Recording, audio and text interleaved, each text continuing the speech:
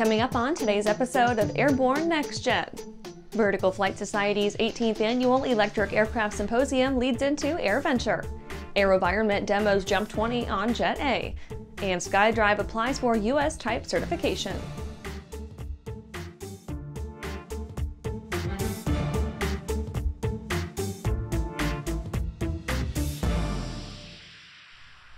And I'm your host, Holland Lee. Welcome to the Aero News Network's Airborne Next Gen program, a weekly news program covering the next generation of flight, from electric power to vertical lift, uncrewed vehicles, and everything in between.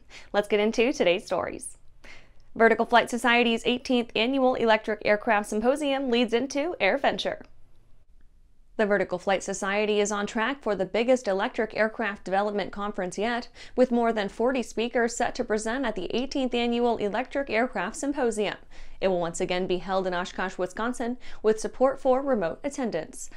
This year will see the EAS held immediately preceding AirVenture 2024 where much of the industry holds symposiums with an array of human factors, safety, and maintenance themes, the Vertical Flight Society always seems to have the most stridently technical speakers, with the resumes to back it up.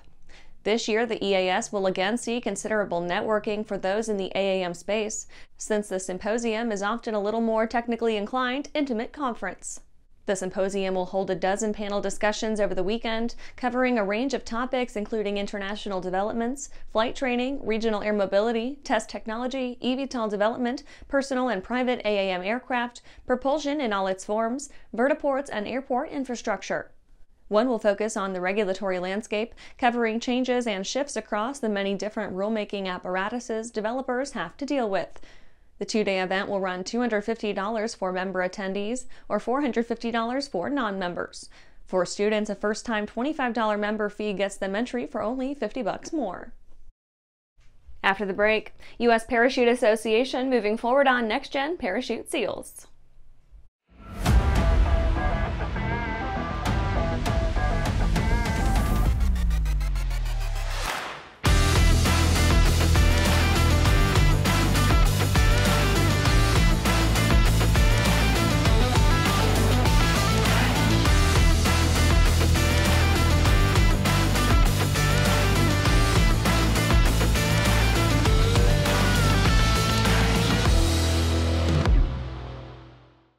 Are you ready to ace your FAA drone pilot knowledge test, get your remote pilot certificate, and start earning money? Well, flying a drone is a great tool that can open up new business opportunities for anyone. Realtor, insurance adjuster, videographer, or commercial weekend drone warrior, you need to fly legally. Whether you're pursuing your initial Part 107 remote pilot certificate or you need a renewal, King Schools has a course just for you. So start learning today at kingschools.com. Welcome back. Now for some shorter stories in our Next Gen Minute. U.S. Parachute Association moving forward on Next Gen parachute seals. Today's parachute riggers are getting rid of their old school lead slugs while rigging up their chutes, now that the Parachute Industry Association has given some alternatives. In February, the association published Technical Bulletin TB 266, stating that they see, quote, no impediment to immediate implementation of the use of the alternate means of sealing auxiliary or emergency parachutes explored by the rigging committee, end quote. The frontrunners for replacements today a type of pressure sensitive paper seal, tamper evident mylar, or a simple plastic plug. All appear to be finding fans of some sorts just as they have overseas. NASA busts out some tabletop gaming for asteroid exercise. NASA got the planetary defense community together for a good old game of 5th Planetary Defense Interagency Tabletop Exercise, playing out their responses to a prospective celestial impact.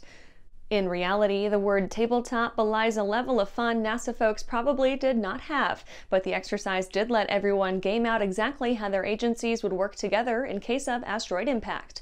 The exercise takes place on a biennial basis, bringing together the Planetary Defense Coordination Office, FEMA, and the Department of State Office of Space Affairs. Wisk expands Houston prospects. Wisk Aero and Houston airports reinforce their relationship with a memorandum of understanding regarding air taxi ops in the metropolitan region.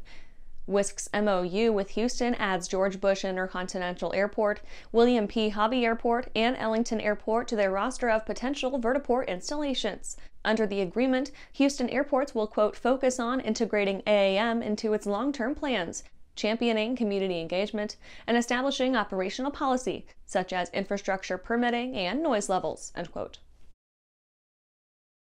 Volato chooses Smart Sky for internet provisions. Volato has opted to go with Smart Sky for its future in-flight connectivity needs, selecting the Smart Sky Lite system for a pair of aircraft to start, with options for many more if all goes well. It's just another flashpoint in the ongoing market war between internet providers and the world of in-flight internet. Smart Sky has opted to flesh out its own proprietary air-to-ground network, but it's been getting increasing competition from similarly positioned ATG operators and low Earth orbit satellite constellations alike. And that's it for today's Next Gen Minute. Now back to the rest of the news. AeroVironment demos Jump 20 on Jet A. AeroVironment pulled off a demonstration of its Jump 20 uncrewed aircraft system using a heavy fuel engine, expanding the capabilities and interoperability of the platform in the world of military logistics. The firm successfully bore out the utility of the Jump 20 with the heavy fuel engine, a more omnivorous little mill that allows the aircraft to run on a wider range of fuels.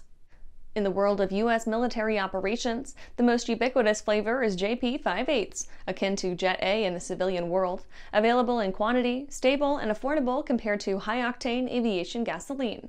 The Marines, for example, love using JP fuel so much they made sure their recon motorbikes could run on the kerosene-based fuel too.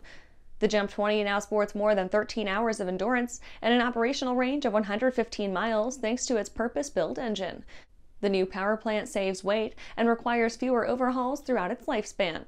Shane Hastings, AV's VP and General Manager of Medium UAS, said, quote, the addition of a heavy fuel engine to the JUMP 20 provides global forces an unparalleled VTOL solution with a longer operational lifespan, greater performance, and efficient fuel consumption. It is well suited for land and sea domains where available fuel sources could be dictated by the respective logistics support plan. End quote. After these messages, SkyDrive applies for U.S. type certification. For over 30 years, the massive Sport Plane Resource Guide has provided expert, credible information, evaluations, and critical analysis of all that the sport aviation world has to offer. The all new digital Sport Plane Resource Guide is coming with extensive multimedia features that are constantly updated, an even more comprehensive online guide to all things sport aviation Available soon. www.sportplane.com.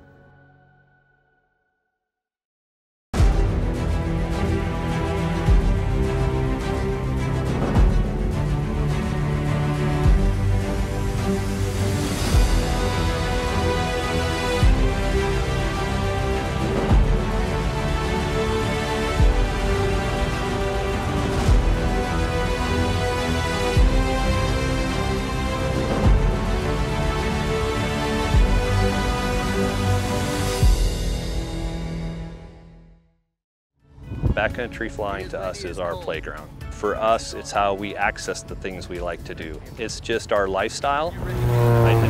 We exclusively use the, the Hartzell Voyager prop, and it's proved to be um, just a great combination for what we do. What it's doing, it's, it's helping us all have better performing airplanes. Man, it feels a lot better clearing trees by 50 feet versus 20 feet. I don't ever see myself not flying. Welcome back. SkyDrive applies for U.S. type certification. SkyDrive submitted its U.S. type certification application for the three-seater eVTOL it's been working on, mirroring its work with Japan's Civil Aviation Bureau in their home market. With their experience working on certification back home, SkyDrive has started off the American type certification process stateside, anticipating completion sometime after its JCAB approval in quote 2026 or later, end quote. The brand said that one of its core ambitions has been to, quote, introduce Japanese origin air mobility solutions to the world, mirroring the success and admiration the Japanese automotive industry has attained globally, end quote. They have plenty of competition from China and the States, with plenty of developers finding their footing thanks to an accommodating regulatory landscape and seemingly endless capital to use in the design process. The firm started prepping for an American market entry already, establishing a local subsidiary in 2023. Now, SkyDrive says it's actively collaborating with local customers to develop practical use cases for the three seater eVTOL and tailor its future aircraft offerings to the U.S. domestic market in particular.